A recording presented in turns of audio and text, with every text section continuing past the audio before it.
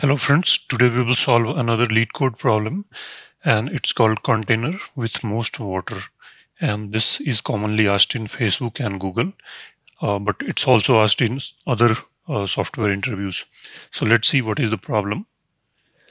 So this problem says that you are given uh, some bars. These are of different lengths and you are given an input array. So these denotes the height of those bars so you can see this is of height 1, the second one is of height 8, then 6,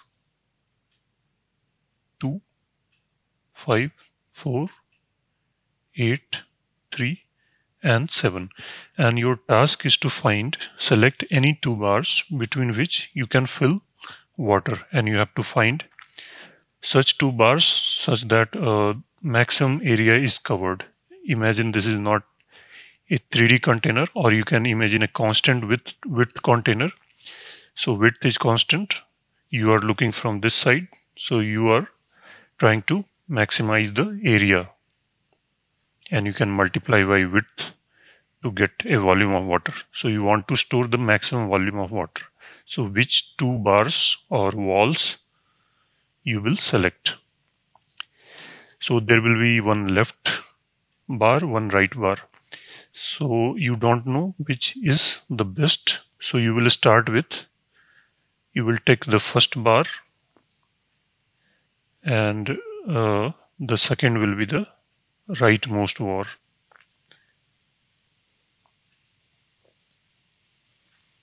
And uh, the width will be this. Uh, the size of this is 2, 4, 6, 8, 9. So 9 minus 1 8 is the width because if you have 2 then you have a width of 1 so here you have 9 bars so width is 8 so this is the width. And now what will be the height of water?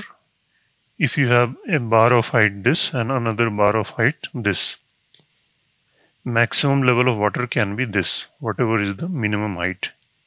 Because if it goes beyond that it will overflow so whatever is the minimum height, that is the height of water. So initial area will be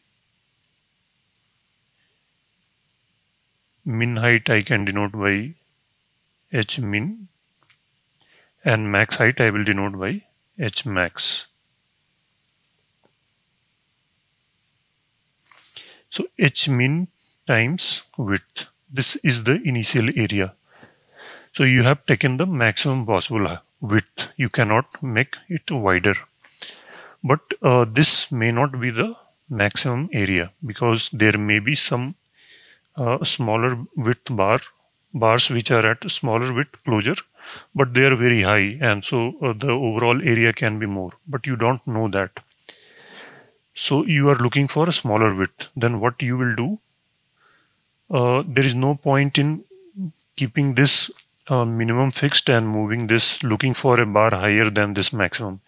Because minimum the height of water is governed by the minimum wall. So unless you increase it you cannot gain by decreasing the width. So if you decrease the width but you don't increase this minimum you will get a smaller area. So only way to increase your area by decreasing width is to find a bar which is higher than this minimum so this minimum can be left side also, right side also. Maybe this bar was very tall and this was small. So whatever is the case, if uh, min is smaller, then you move to the right until you find a bar which is higher than this min. So in this case, you reach here and this is higher than this min. So your this pointer moves here. So you are no longer pointing to here. Now you have two bars. H max you did not move because there was no point in moving that. You need to increase the H min. Now you will compare this new height and H max. Whichever is smaller will be your new H min. So in this case, this H is H max and this H max becomes H min because it, it is smaller of the two. Now your width has become from 9 to uh, 8 so let's write the absolute numbers. It was 1. 1 times 8 So new area is again h mean times width, but width is now 7 and minimum height is 7. Maximum is 8. So it will be 7 times 7 equal to 49 and you will compare if this new area is better than earlier max area or not it's better so you will keep track of a max area area max and you will store there whatever is the maximum you have gained so far so you will update it only when you find a better maximum so we have achieved 49 till now. Now we will repeat our argument. So there is no point in moving the maximum because uh, you will be decreasing the width and the only way you can increase the area is by increasing your minimum. So if we look for the next bar which is to the left of this min and higher than this. So we reach here. So our new index is this and we compare this with earlier the max so if it's more than max we will update max and min. But in this case it's not more it's equal so it we will not change. So this is our new h min. So new h min is 8 and width now has decreased by 2 so it's 6 so new area is 48 which is not more than a max. So we don't update it so width is uh, 1 2 3 4 5 sorry width is 5 in this case. 4 5 so in fact it's 40 because earlier width was 7 we decreased by 2 here. So 40 was not better than 49 so we don't change it. Now we can move any of these. So we look for a bar higher than this uh, and in this case we will not find it. We will reach till h h mean. So when uh, h mean and h max indices uh, become zero i mean become same that is width become zero then we stopped. Because when width is zero area is zero. So in this case we got the solution as 49 now let's write the code for this. So this is exactly the same problem. And this height is this uh, vector of heights. So let's write whatever we had discussed. Min height.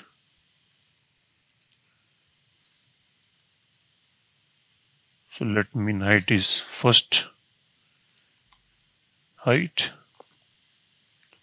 max height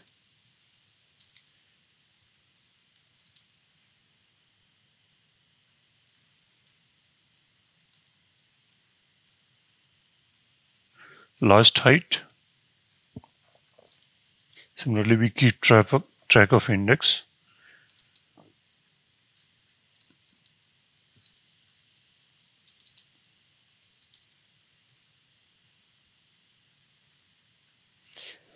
So we uh, roughly uh, arbitrarily assume this is the min, this is max.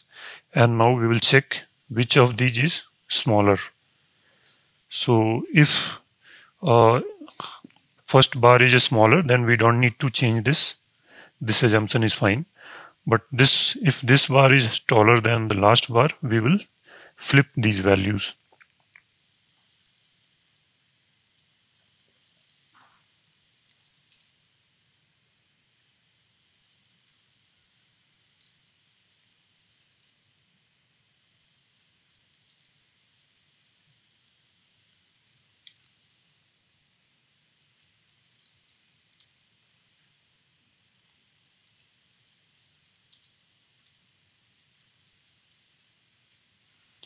So now this will become min and max if this is the case.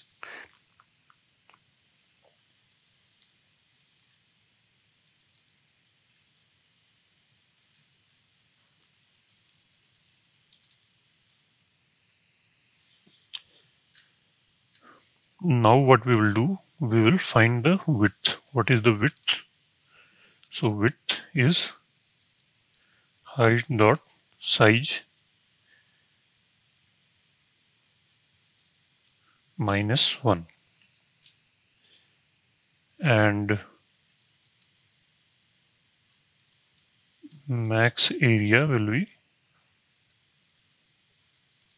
min height times width.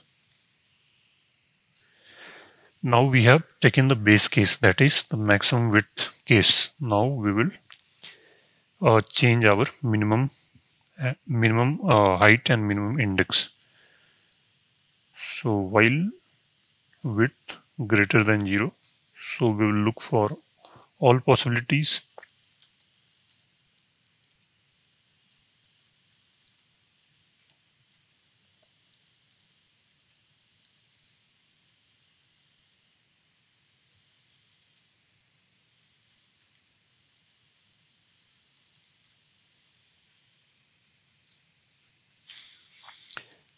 So uh, we have created a temporary index to min index and until we find a bar which is higher than this, strictly higher, even if it's equal, there is no point in no point in changing the minimum because we have decreased width but we have not increased height.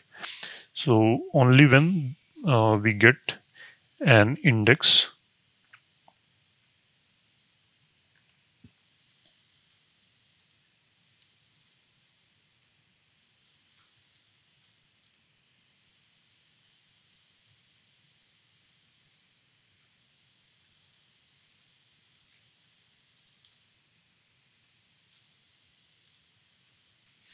So unless we get a strictly uh, higher height, we don't change the index. And this is just to keep track that whether the mean index is the right one or the left one. It can be towards the right or left. So if it's left, if the left bar is smaller, then we increment the index. If it's on the right side, we decrement the index. And uh, finally, we will do width minus minus every time we change the index. And we also need to check that width does not become 0 or negative. So as soon as it becomes less than 1, we break out of it. We don't need to check further. Now what we need to check is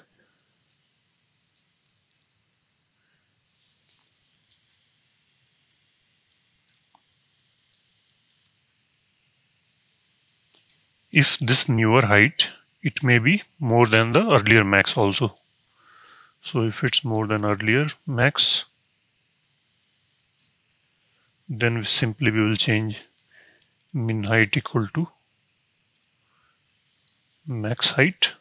So earlier max becomes min now max index.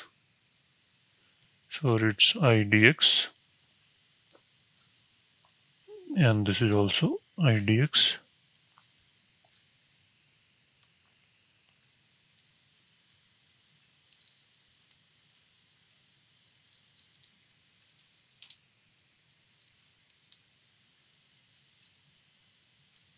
So we are just uh, keeping track of whichever is minimum, make that min height, and whatever is maximum, make that max height.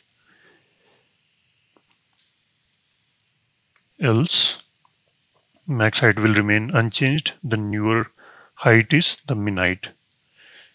So min idx equal to idx and min height equal to height of this index. Max remains un unchanged.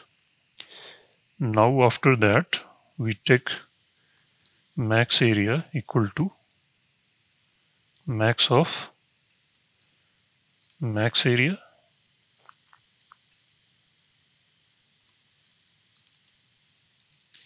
and W times min height. So this is the new area we compare with max area and update accordingly.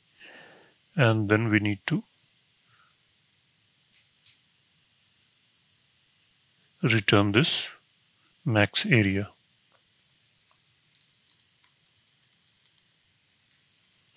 Let's run it.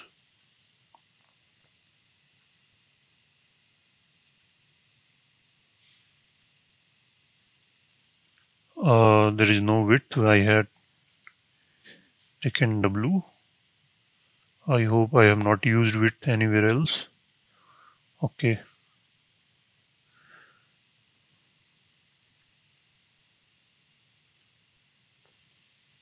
Okay here also I have done the mistake.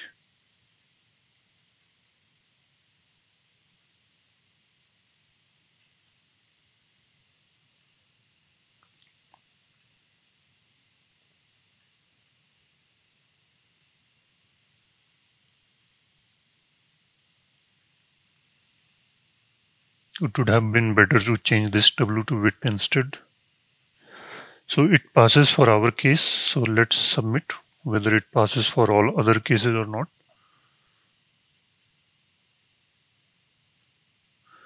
So it works for all the cases and uh, our solution seems to be quite efficient because memory is better than 100% and time also better than 95.35%. So it's on the higher end only. So let's try once more. So it remains same. So it looks quite efficient and uh, you can see what is the time complexity. Uh, so you calculate an area and then you keep moving the one of the indices and you stop when they meet each other. So you are not doing more than one scan of this vector. So it's order n time complexity.